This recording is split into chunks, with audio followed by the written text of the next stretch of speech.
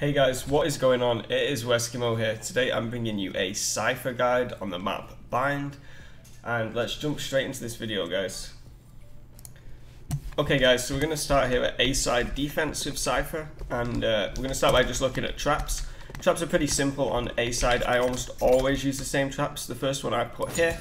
Make sure nobody can push through the mid into uh, our lamps area without me knowing. And the second one I like to put here.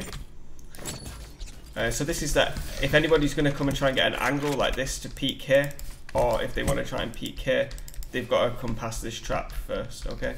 If you put it on this doorway, they can still peek from behind the trap and still get shots off on people, so I think this is much better to put it here. As far as the camera goes, one of my favourite spots to put it is uh, up here, where I'm looking just now. So we stand on this box at the start of the round. You want to do this before the round starts. So we're just going to uh, jump and place the camera here. Okay, so from here we can see if people push down here. We can also see if someone was hiding here in lamps. We also have basically full vision of the bomb site. If uh, somebody's pushing around here, we get to see them.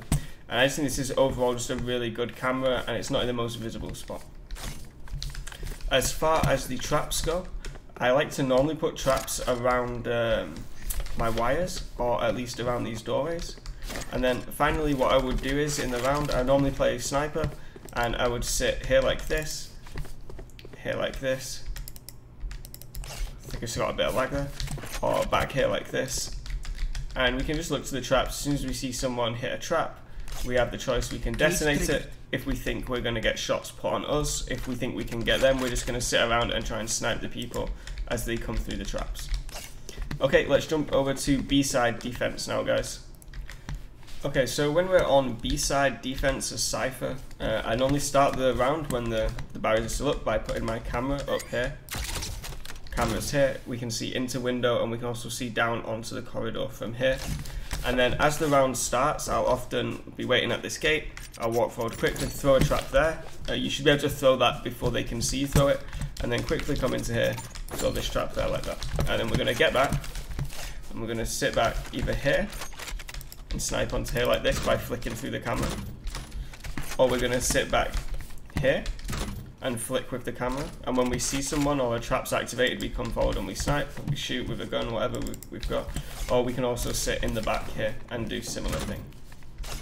Each one of these is a bit more defensive um, or aggressive, you can choose which one. With traps, I would normally put one on this doorway and then one on this doorway. And what this is, is if someone is pushing me, I think I, like say I come, I see them, I come forward, I go to shoot, I, I missed my shot, for example, I quickly hit a trap, gives me time to back away and get some, uh, get to safety. Okay guys, so that is the setups for the defending side that I most often like to do, and if you do these in-game, you'll most often have uh, pretty decent rounds with these. And uh, yeah, let's jump over to attacking side and see how we can use Cypher on the offensive side on this map. Okay, so if we're on the attacking side and we're going to be pushing B, uh, our job as Cypher on attacking side is normally to watch the teams back, okay? So if our team is going to be pushing through B, say, let's say they're going to go through B short and B long, we want to be like hanging around this kind of area here, set our traps up around here, make sure that uh, people don't come behind us. So the first one I like to do is just somewhere in this area. Oh, my cat is jumping onto my keyboard right now. Um, so this one stops people rotating through the back. I put it further back because if the trap was here, for example, someone could still be here and maybe get shots off onto you. Excuse my cat, please, guys. Um, so here allows you to see someone coming, uh, like sneaking up on you from behind, from far away, so that if they hit this, you have time to react and know that they're coming. The second one that I like to do on this side with my trap is to put it on this corner here or on this doorway here. And this is just to stop people rotating from mid towards you. And my cat is sat on the keyboard again. Just move it off a second. Okay. So either here or here is both good. And then we're going to just sit around the back normally around this area and just make sure no one comes behind us okay as far as camera goes, on attacking side, do you want to use it to scout as much as possible. If you're able to push up to here, maybe, you could use the camera like this. There we go, we can scout with the camera like this, or the same on the on the B long. Just got my cat once again sat on me. Hey, how you doing, Mumbel? How's everyone doing today? Okay.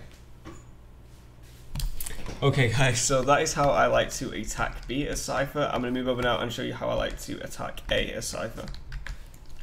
Okay guys, so if we are pushing A on offensive side, uh, once again we're going to be watching the team's back. So the first trap I always like to put in this tunnel, but I like to put it further back so we get uh, the information quicker if someone's rotating because if this trap goes off, you you know somebody's coming behind you. You know, like they've made a decision to commit to be behind you. It's not like they're just going to run back somewhere else. So like, this gives you time to react, uh, let you know that somebody is coming behind you. Uh, if we're pushing down A short, which is what we'll normally do, start the round, I'll just throw the strap on this doorway and throw my camera uh, either up here to watch the back or use the camera to scout, which I think is slightly better. We can use the camera like this really quickly, quickly look, see if it's there. They'll probably shoot the camera, but you should get information of like one or two players sitting in this area. And from here, we're just going to watch the teams back. We're going to sit around here, make sure no one comes this way, and make sure nobody comes this way. We're also going to watch this teleporter. If we hear the teleporter sound, instantly we're going to be looking at this. Okay guys, I hope you've enjoyed this guide. It was kind of quick and I've not made a video in a few weeks because I've been moving house, but I'm set up at my new house now, so back to making content a lot more regularly. If you've enjoyed this video, please like, please subscribe, and I will see you guys next time.